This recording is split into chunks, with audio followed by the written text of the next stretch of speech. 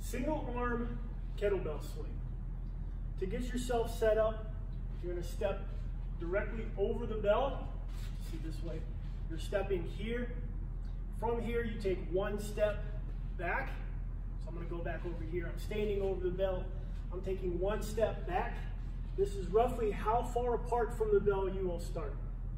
To determine how far apart your feet are, you can think about doing three jumps, and that's roughly how far apart your feet will be.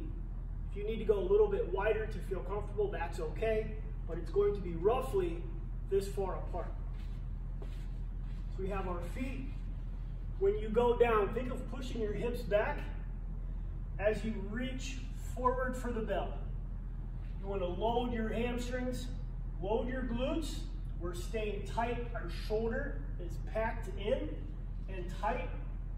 From this position, you have your hips, your hamstrings and your glutes loaded, your shoulder is packed.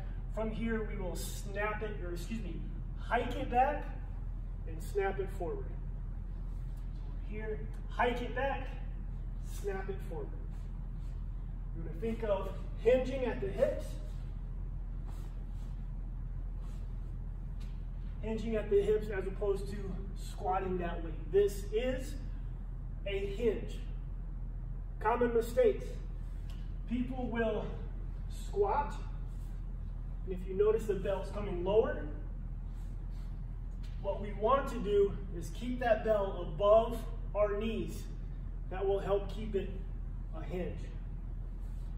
Here, bell stays above the knees.